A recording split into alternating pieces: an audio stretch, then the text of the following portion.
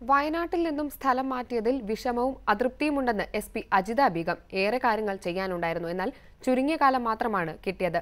സ്ഥലം മാറ്റം രാഷ്ട്രീയ പ്രേരിതമാണോ എന്ന കാര്യത്തിൽ അഭിപ്രായം പറയുന്നില്ലെന്നും അജിത ബീഗം പറഞ്ഞു.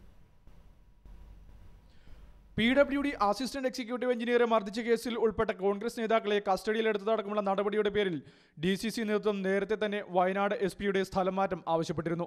I C Balakrishnan M L എയും ശ്രേയാംസ് കുമാർ എം എൽ എയും ചേർന്നാണ് അന്ന് കസ്റ്റഡിയിലെടുത്ത നേതാക്കളെ ഇറക്കി കൊണ്ടുപോയത്. എന്നാൽ സ്ഥലം മാറ്റം രാഷ്ട്രീയ സമ്മർദ്ദത്തെ തുടർന്നാണോ എന്ന ചോദ്യത്തോട് അജിതാബികം പ്രതികരിച്ചില്ല.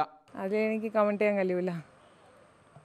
എന്നാൽ സ്ഥലം മാറ്റുന്നതിലെ വിഷമവും അതൃപ്തിയും മറച്ചുവെച്ചതുമില്ല അഞ്ചു മാസക്കാലം മാത്രമാണ് അജിതാ വയനാട് എസ് പി ആയി ചുമതലയിലിരുന്നത്.